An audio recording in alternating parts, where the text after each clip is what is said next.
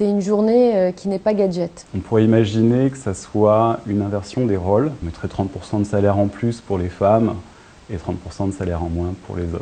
C'est une journée peut-être euh, qui déborde cette journée. Le 8 mars devrait être un plus. La journée de la femme, d'abord, c'est la journée des droits de la femme. Ce n'est euh, ni la fête des mères, ni la Saint-Valentin. Pour moi, la journée de la femme, c'est en fait bousculer la routine et enclencher une vraie dynamique. Je suis contre.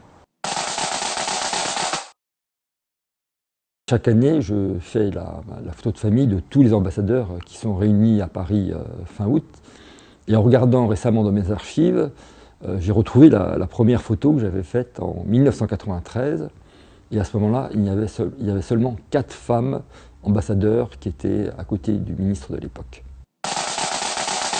Ces cinq dernières années, il y en a eu de plus en plus pour maintenant en arriver à quasiment 40 euh, femmes. Donc il y a quand même une évolution qui est très très très lente, mais quand même euh, significative.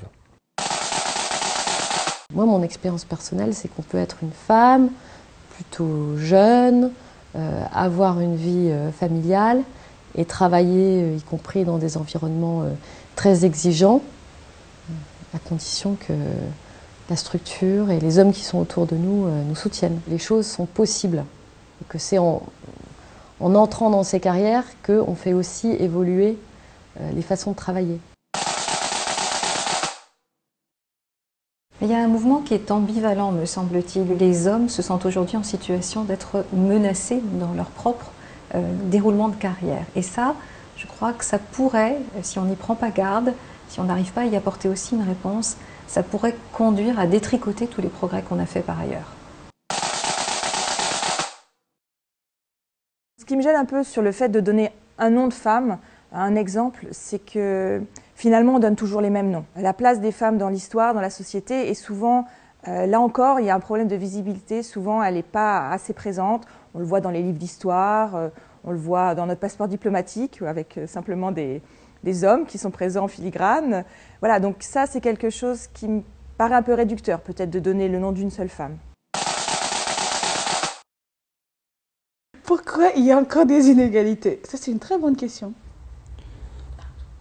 Ils, mettent plein, ils mettent plein de, plein de raisons en avant. Hein. La femme va prendre les, des congés maternité, la femme ceci, la femme...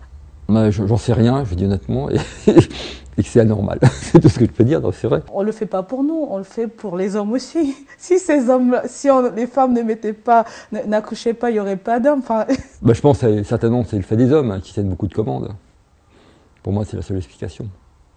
Enfin, euh, c'est pas notre faute si nous sommes conçus pour, euh, pour mettre au monde des êtres humains. Bon, les hommes ne savent pas toujours comment se positionner par rapport à ça, parce qu'il y a aussi la question de la virilité, la question de la masculinité. Euh, les femmes aussi, parfois, ne sont pas à l'aise euh, par rapport à ça parce que euh, elles ne veulent pas être posées en, nécessairement en tant que victimes. C'est à la fois les, les, hommes qui nous écrasent et qui prennent trop de place, mais c'est les femmes qui savent pas aussi utiliser euh, leurs compétences et qui souvent connaissent bien mieux les sujets que les hommes, j'ai pu le vérifier, et qui n'arrivent pas à se mettre en avant. C'est vrai qu'il y a des réalités choquantes, c'est vrai qu'il ne faut pas les ignorer. Et même dans des pays comme la France, où on a fait beaucoup de progrès, où une législation a été adoptée. Je crois que c'est un processus, malheureusement euh, lent, euh, mais qui doit toujours avancer. On se rend compte qu'il y a aussi des obstacles à cette égalité réelle, qui passent par des choses extrêmement concrètes, une vision sociale que une femme qui s'arrête de travailler, c'est normal, un homme qui s'arrête de travailler pour s'occuper de ses enfants, euh, c'est bizarre. On ne peut pas balayer d'un revers de main des millénaires d'inégalités par rapport à quelques décennies de prise de conscience. Je pense que c'est beaucoup de, croyances transmises de génération en génération. C'est un effet d'inertie, je dirais peut-être dans la société, un effet de, facilité, de reproduction de, modèles qui ont toujours été comme ça. Pourquoi ça changerait? Et je pourrais faire un parallèle d'ailleurs avec les États-Unis, qui est une jeune démocratie et qui, euh, malgré des efforts en termes d'intégration de la communauté afro-américaine, eh bien, on voit toujours des inégalités qui persistent. D'ailleurs, la cérémonie des Oscars euh, en a été un bon exemple. Et c'est se dire que même eux, s'ils n'arrivent pas à balayer à peu près euh, quatre siècles d'esclavage et d'inégalité à l'égard de la communauté afro-américaine, c'est sûr que c'est encore plus difficile de balayer, euh, cette fois-ci pas quelques siècles, mais donc des millénaires d'inégalité à l'égard des femmes. J'ai pas vraiment de, solution, donc c'est vraiment, à mon avis, dans donner l'exemple et donner l'exemple aussi de euh, montrer tout simplement que bah, les femmes euh, sont tout aussi capables que les hommes.